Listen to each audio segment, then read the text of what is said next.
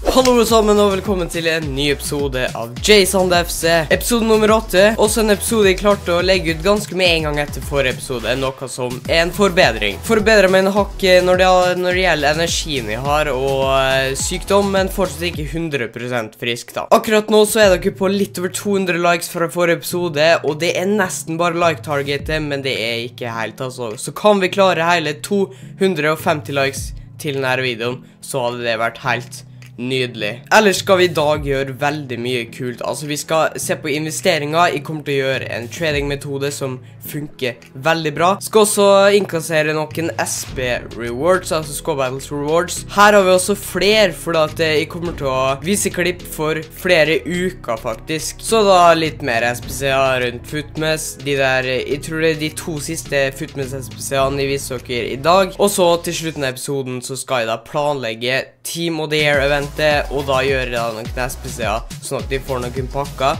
som leder til en pakkeåpning på Team og der da, som jeg har recorda. Så det er planen. Vi starter. Vi starter med litt trading, og her så kjøpte jeg inn 83 rette spillere til Team Odoike Espesian, som kom om en uke. Eh, jeg skulle ha bort på juleferie på torsdagen samme uka, så jeg måtte da selge eh, noen av spillerne på juleferien hvis de ikke gambla på at spillerne var eh, like billige, eller ja like dyre, vil jeg da si, når jeg kom tilbake, da. Så jeg venta eh, med noen spillere når jeg kom tilbake, og noen solgte da eh, før jeg kom tilbake på den ferien, da. Men uansett så ser dere at vi eh, eh bruker denne trainingmetoden som en av metodene i denne serien. Testa ut om denne funker, eh, og det blir da egentlig bare spennende å se hvordan, eh, hvordan, det funker. Jeg har egentlig aldri lagt så stor eh, vekt på trading i denne serien så langt heller, så dette her blir da første metoden, da. Så vi fyller da transferlisten til slutt eh, med noen få objekter. Skulle ha vært høyere level, men som sagt så var dette her en ny bruker. Eh, så hvis de hadde hatt større plass i transferlisten, så hadde de nok kjøpt flere spillere, men samtidig så orka jeg nesten ikke å kjøpe spillere på både hovedbrukeren og den her. Men eh, jeg hadde da som sagt tjent mer coins, da, noe som jeg ble litt sur på. Men eh, det, det, er bare fakta å ta med seg altså. Det er bare fakta. Som et alternativ kunne jeg bidde på spillere og holdt dem på ønskelisten, men det gjorde jeg ikke. Deretter mottar vi faktisk ukas Squabans Rewards, og vi hopper lang tid fra forrige klipp. Nå har jeg kommet hjem. Eh, og jeg innkasserer de kampene jeg viste dere i forrige episode. Eh, så nå har jeg vært borte, som sagt, eh, og så, ja Så ser vi da også i høyre hjørne etter hvert nå at rekorden er høyere enn det den var forrige gang.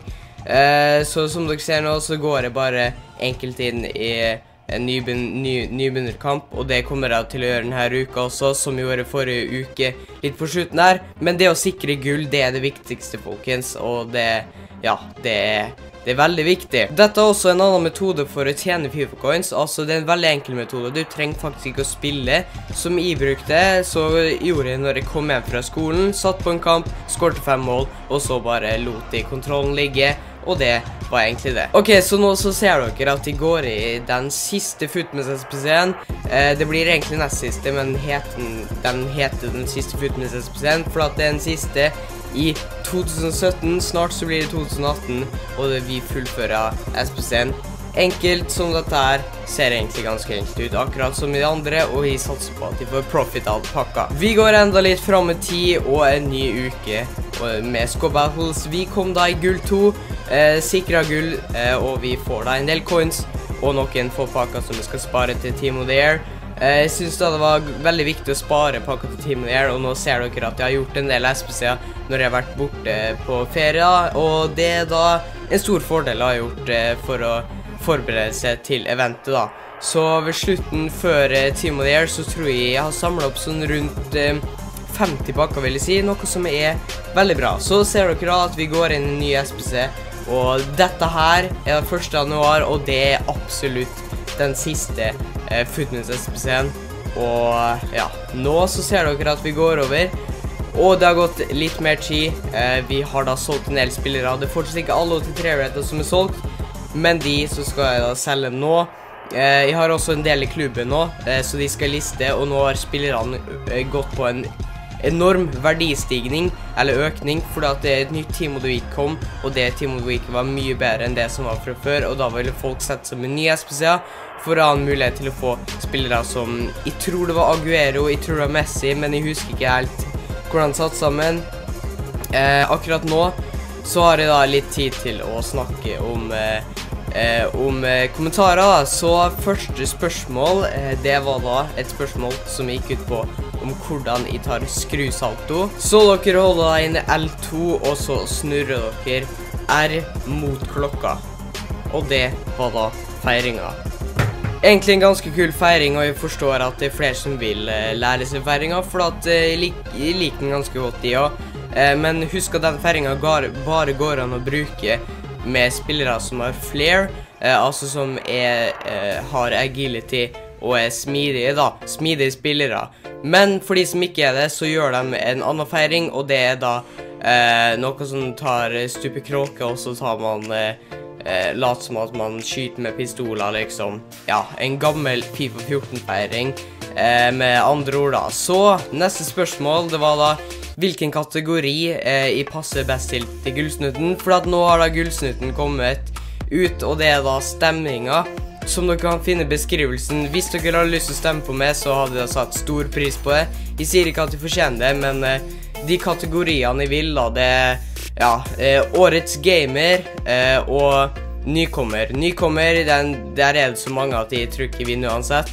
Men hvis Randulle, som jeg har lyst til, skal vinne eh, årets YouTuber, som jeg syns ingen andre enn han fortjener, kanskje Murdrox, men hvis Randulle vinner den, så kan ikke han også vinne Årets gamer. Og da er det kanskje en mulighet for meg til Årets gamer. Jeg sier ikke, men hvis dere har lyst til å stemme på meg, og ikke la det bli sånn der som Slimeplace eller Smileys Gaming, så er det da bare rett fram og stemme på meg. Og hvis dere allerede har stemt, så kan dere også bruke en annen bruker. Dere kan bruke Instagram, dere kan bruke YouTube.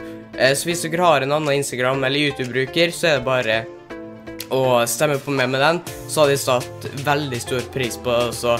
så var det et spørsmål til om det kom en Tico-spesial. Ja, det gjør det. Eh, jeg har ikke fått eh, planlagt den eller noe, for at jeg har en Ronaldo-serie som vi driver og planlegger, en annen serie også. Eh, og så, siden jeg har vært sjuk, så har jeg ikke fått tid til det heller engang. Så derfor så må jeg bare se Ta det som det kommer, og Eh, så ja, vi bare får se hvordan det går, dette her. Så var det et nytt spørsmål. Eh, det var da å snakke om overganger, og det sa jeg da litt om eh, i forrige episode når jeg snakka om Wants to Watch. Eh, og det her er egentlig, egentlig, ikke så mye å si. Jeg sa det mest om forrige gang, at det var ganske spennende. Egentlig handler bare om å se hvordan alt går, da. Så går vi enda litt fram i tid, og til en ny uke og ny Squabelt Rewards. Nok en gang gull, eh, og dette er, er bare en vane jeg vil ha. Eh, 13 000 coins. Jeg tror vi kom i gull 2 denne uka også. Og nå så ser dere i eh, venstre hjørne at vi har spilt over 100 kamper. Og mange av de kampene har ikke vist dere, men det er sånne nybegynnerkamper jeg egentlig ikke har spilt sjøl. Jeg har bare satt fram med kontrollen. Eh, og så ser dere også at vi har tjent opp veldig mye coins etter tradingmetoden. Så den tradingmetoden var helt klart verdt det, og noe jeg absolutt ikke angrer på. Så den tradingmetoden dere også kan bruke. Eh, Egentlig så er det bare å kjøpe og tre-rate spillere når de er billige. Når de ligger for eh, eh ja, ligger på 1,5K, så er det da best å, eh, å kjøpe inn, så det vil jeg da anbefale. Eh, og så er det bare å, beholde det til informpakka kommer, da. Så yes, nå så ser dere at de forbereder meg til Team of the Year og gjør noen SPC-er. Eh, gjør noen investeringer av spillere som skal inn i laget. Eh, og gjerne kopier laget hvis dere har lyst til å gjøre det sjøl, for at jeg vil ha en helt annen helt klart anbefale. Hver SPC er det ganske billig i forhold til pakka man får. Man får alt fra 25K til 35K til 45K til 50K og til og med 55K-bakka eh, av disse her SPC-ene, så jeg ville helt klart anbefale det. Det har også kommet en ny SPC nå, eh, nå nylig, faktisk, når jeg filmer dette her, men som sagt så er dette her før Team of the Year, Og da hadde ikke en SPC kommet ut, men jeg kommer til å gjøre den også, for det er enda en ny 50 på bakke, og det gleder meg til å gjøre. Så det jeg skal investere i nå, det er da til noe som heter League, og så er det Nation, og så er det League and Nation Hybrid, da. Eh, og innenfor dette her så er det da fire SPC-er innenfor hver, så det er først tre SPC-er, og så er det fire eh, enkle SPC-er inni der, der man får eh, enkelte rewards. Noen av de trenger man loyalty, og andre så trenger man ikke det. Loyalty er egentlig sånn at du må ha packet spillerne du bruker i SPC-en, eller har spilt ti kamper med dem. Så det måtte jeg gjøre, så jeg planla eh, langt på forhånd på hvem jeg invest skulle investere, ja. Og eh, så måtte jeg planlegge i forhold til om jeg hadde tid til å spille nok kamper, for at jeg hadde tenkt å gjøre det i SPC, eh, nei, i Squad Battles, eh, og det hadde jeg da planer om å gjøre eh, sånn ved siden av, sånn jevnt fordelt eh, fram mot Team of Dare starta da. Så de to første SPC-ene i hver SPC, de koster mellom 5 og 8K, og de to siste, de koster mellom 8 og 12K cirka. Og det tok ganske lang tid å sette sammen også, de tok sånn eh, kanskje to sånne her fulle SPC-er med fire SPC-er inni hverandre. De tok kanskje en og en halv time til sammen, så alt i alt så tror jeg jeg brukte to timer på dette her, og det er egentlig ganske mye. Men etter pakkene jeg får, så gjenstår det egentlig bare å se ved Team Year hva jeg får, og om det er verdt det, da. Så som sagt så har jeg spart disse her pakkene til Team Year, og den videoen har jeg recorda. Den kommer da om kanskje to til tre episoder. Jeg vet ikke når neste episode kommer, men jeg har iallfall en annen video som skal komme ut ganske snart. Og så må jeg da planlegge Ronaldo-serien og en annen serie jeg har eh, på lager. Men det er ikke sikkert at de kommer til å legge den ut. Men ja, det, det er noe jeg har i tankene, for det kan være mulig å ha en annen serie i tillegg til den Ronaldo-serien som kommer. Og så er jeg ikke helt sikker på om vi kommer til å fortsette med denne serien som parallelt, for at eh, vi begynner å komme på god vei. Eh, vi har ikke klart et mission ennå, men ja, etter noen episoder nå så ser dere at vi er ganske nærme det første missionet, og så kommer det andre missionet sånn eh, egentlig ganske rett etterpå, for at vi har tjent litt coins og kan kjøpe det 85-rata laget som heter missionet. Eh, det, en, det, andre missionet det er da 500K, så vi nærmer oss til det også. Akkurat nå så bruker vi da litt på SPC-en, men eh, etter det vi åpner ved Team of the Air, så kan egentlig alt skje. Og som sagt så burde dere gjøre det disse her Team of the Air, ikke Team of the Air SPC-ene, men disse her SPC-ene som aldri utløp, for at eh, de vil da helt klart anbefale å gjøre. Dere så også at jeg åpna disse SPC-ene eh, på en pakkeåpning jeg hadde på hovedbrukeren, og to andre brukere. Der hadde jeg ikke like god packluck, men de fikk fortsatt informelse sånn. Eh, så alt i alt så var nå SPC-en helt klart verdt det. Og dermed det dere ser i bakgrunnen nå, eh, det var egentlig slutten av episoden. Det ble ingen kamper i dag, men det ble mye innhold. Scobalt Rewards, SPC-er og mye Eh, moro. Så da håper dere likte videoen. Eh, skriv temaet jeg skal snakke om i neste episode. Eh, og så gleder jeg meg egentlig bare til framover. Jeg håper jeg får tid til planlegging og satser på å starte Ronaldo-serien i vinterferien. Jeg er ikke sikker på om jeg klarer det, men jeg håper det. Har også kanskje planer om å eh, ta noen skiturer i vinterferien også, eller være med familien, så jeg veit ikke Jeg har egentlig ikke planlagt hva jeg skal gjøre da, men jeg håper jeg får tid til litt YouTube også, og ja, eh, diverse videoer. Så da håper dere likte videoen. Legg en like, kommenter, og så snakkes vi i neste episode.